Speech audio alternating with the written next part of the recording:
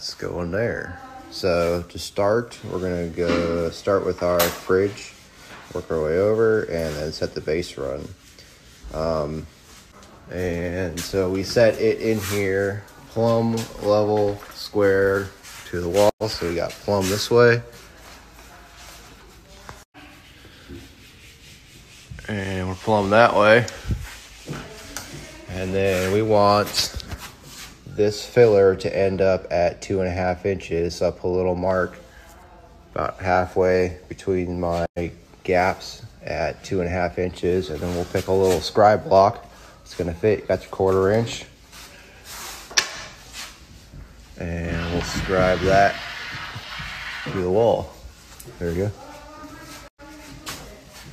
Go for it.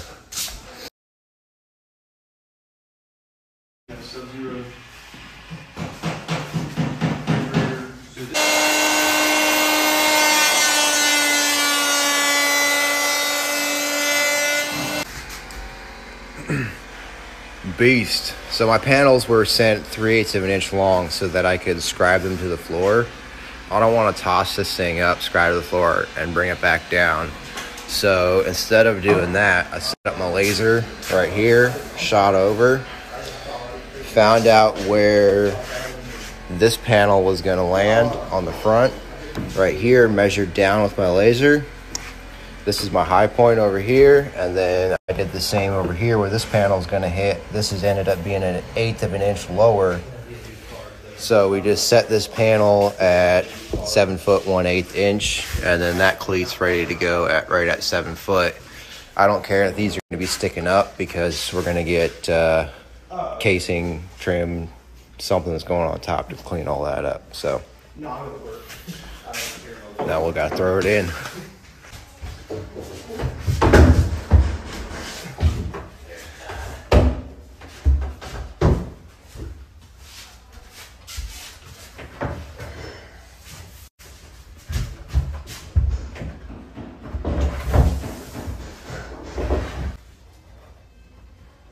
More.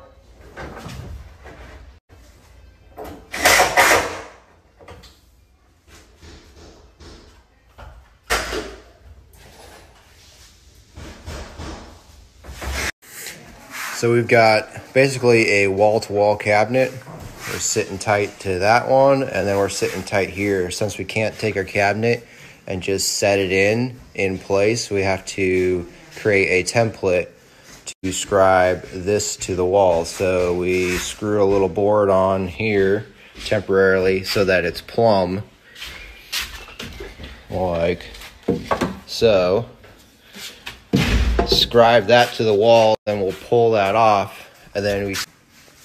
So we shave down our little template piece to match, and then I measure from here to here, and we ended up with 55 and 13, and then you measure at the bottom, and we had 55 and 11.